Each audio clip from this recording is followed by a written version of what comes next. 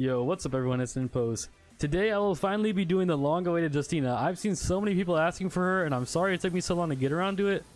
Hopefully this video does great. Now let's start now. Starting with our F abilities aka skills, I will say right now do not ever use the third one. As much as it sounds kind of cool that you can block teammates in ice for 3 seconds along with you and you all heal up, the heal value is not great and ironically, it could grief your teammates more than it helps them. That's just a heads up. Now, going into it, it'll be her first two that are the best. The first one has moments where it can be really good because you can heal up quite a bit of armor while you are in it. So that will always be useful. But the second one has to be the best because you can break an attack and also peel for teammates that are in the middle of a gold focus. Now, starting off with the first F ability, this works like some other characters where it can be a soft combo break. So if it's not something that truly connects to each other, you can activate it and cancel what they're doing. As you see, it heals 600 armor, which is very useful. I will say this one can be great in solos and even team modes. Yet again, the second one just has to be the best though. Alright, now we'll be getting into the second ability. This one's my personal favorite. It's just really nice to be able to break something mid-combo like that. Also, if they hit you and the stagger animation happens, you could cancel it directly into an attack. The first F also has an option to do this, but obviously you're trading out heal value, which could be massive. Like I said, I just prefer the second one. It's up to choice. You could run the first one. It, it works perfectly fine. Just know that it's nice having a combo break because there are some combos in this game that can full kill you if you do not have one. Okay, so now on to ultimates. There's actually a lot to break down for these. The first two work very similar with this one having two uses and this one having three at base.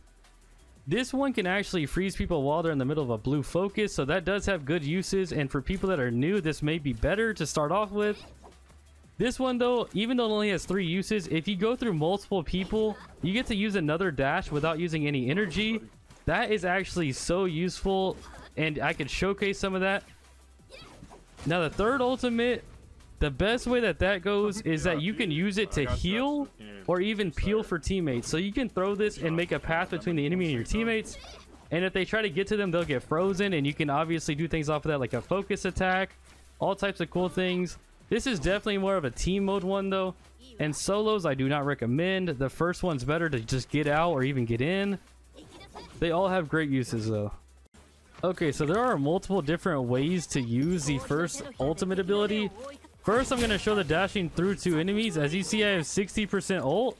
I'll use this dash. Now I'm at 40, but if you look beside the ult bar, there's a little yellow thing right here. That shows that I have a free dash. Notice I dashed and I've, I'm still at 40.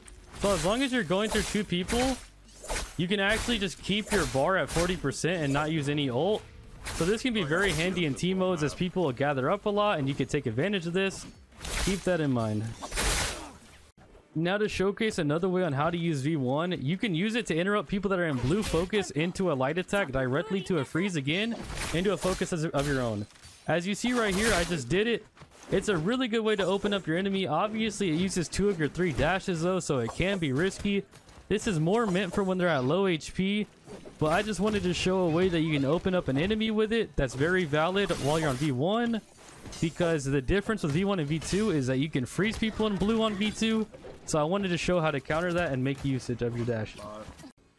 One final thing I had forgotten to mention with Justina's dashes, this works on V1 and V2 by the way, is whenever you dash, the way to cancel it directly into attack is by holding your horizontal or vertical. So if you see, this will be a full regular dash, but yet, if there's an enemy and stuff, whenever you dash at them, you can cancel it instantly by holding a focus right there. This is very essential for Justina because this is the way that she fights with her dashes. Okay, now to showcase V2, like I said, it works a lot like V1, but instead you can actually go through blue focus attacks directly into a freeze. I'll showcase that now. As you've seen earlier, I had to do something special to open them up. This time I don't.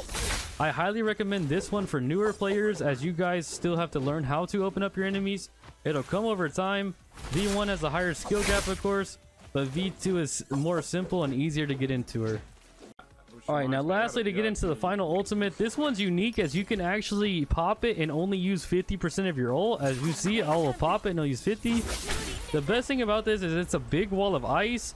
You can actually get behind this and use your heals while the enemies are on the other side and they can't really pressure you or they'll get frozen just like that.